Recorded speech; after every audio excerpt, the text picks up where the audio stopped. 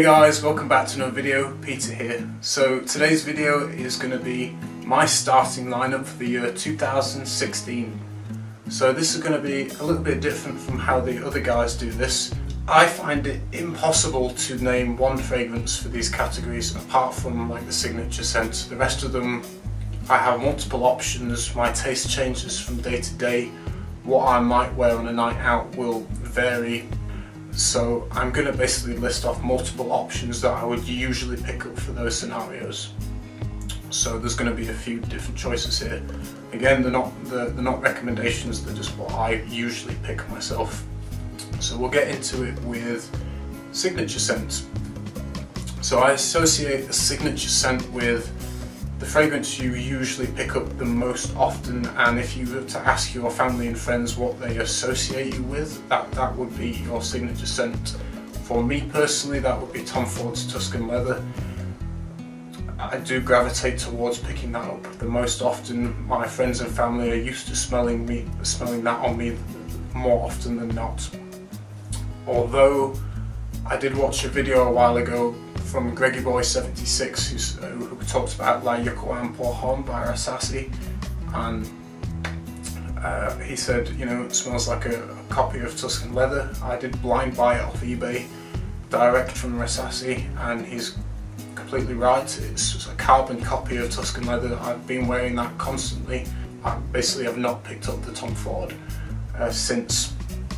It is really good. You'll save yourself over $200 um, if you buy that one. If you want to watch a video of that, uh, check the description below if you missed that one. It, honestly, it's worth getting, even blind buying. If you know you like Tuscan leather, this is completely safe blind buy. Smells exact, lasts just as long, it's just 100% perfect. And also, I would say, equally I pick up Kiehl's Original Musk, because not all the time I want to smell of a heavy fragrance. And on those days I always pick up Original Musk just so I smell something and it lasts all day. To me it smells really nice, it's just, uh, just a musk basically, there's not really a whole lot else going on there. For work, the work category really doesn't apply to me. Um, I work abroad a few few months of the year and the work I do wearing a fragrance would be completely redundant and ridiculous and completely pointless. So I don't wear a fragrance to work at all. Uh, so we'll leave that one. Next up is night out category. So for night out, um, a lot of the guys, you know, talk about clubbing and, you know, I, I don't go clubbing. I don't dance, I don't go to uh, these kind of clubbing scenes. I'm not into that. I hate electronic music. Dance music is just horrendous to my ears.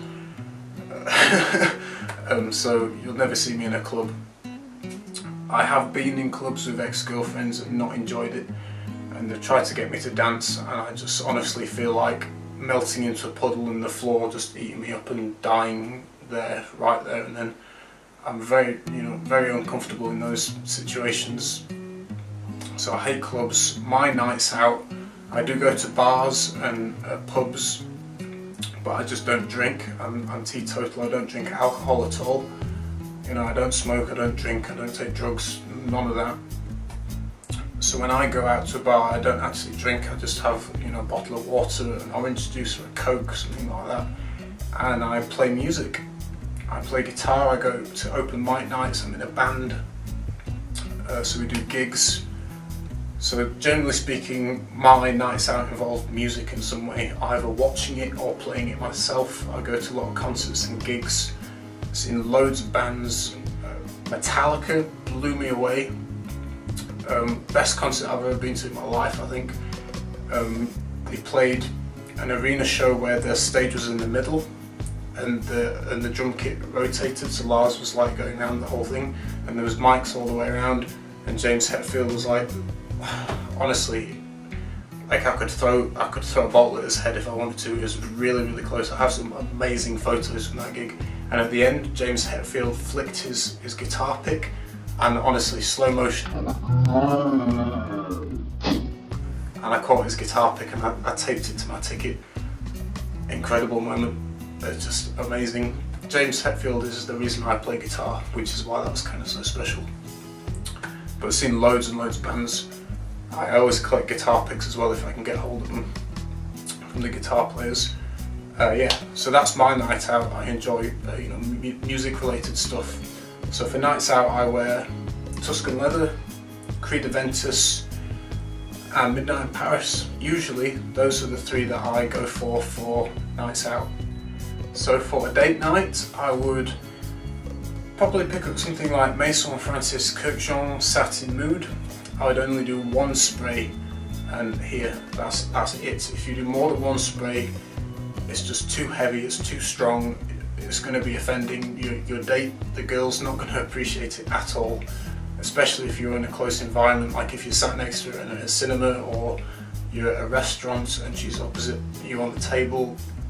It's going to be way too much. She's not going to appreciate it at all that'll probably be your last date because of that. So only ever spray it once, that's all you need. Just treat it as nuclear, it's so, so strong. I would also wear Creed Aventus, very safe option, can't go wrong. Nasomatto Pardon, the reason being all the girls in my life that have smelt that have all said it's basically it's sexy. Um, it has like this kind of dark, mysterious, sexy vibe to it all enjoyed it. I've not had one negative feedback on that at all. Another one though that you don't want to overspray. One spray is completely adequate, two at the very most, because it's just heavy in the air. You know, if you spray that more than two times, it's just like a brick in the air and no one's going to appreciate it. So again, easy on the trigger. I would also wear, but I don't own, but I would definitely wear on a date, would be Habdan by Parfums de Marly.